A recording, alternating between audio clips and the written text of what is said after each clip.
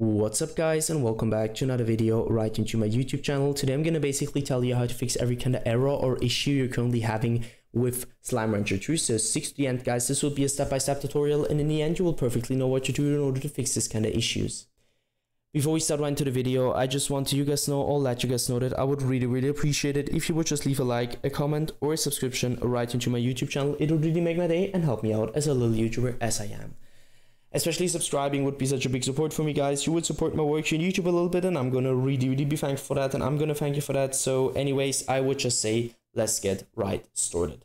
So, the first step in order to fix this kind of issues is gonna be to navigate to the bottom left corner of your screen, click into the Windows symbol, and open up your settings navigate right onto update and security and stick around Windows Update where obviously want you to update every single drive you could possibly update. And I know it's going to sound weird guys, but trust me, it will help you a lot and you will start with Windows. So once you download the latest version of that and this task and do the same thing for graphics card. So go to the application, go to the browser and download the latest version of your uh, graphics card just to provide the best possible performance in general for your PC.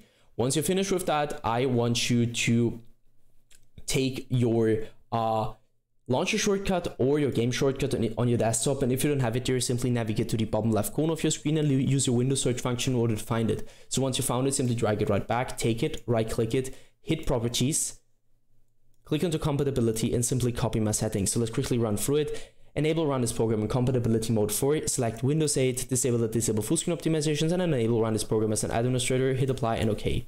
I would personally recommend to restart your PC afterwards and once it is restored, I want you to launch a game over the launcher, launch a game instantly, and this will probably fix your issues.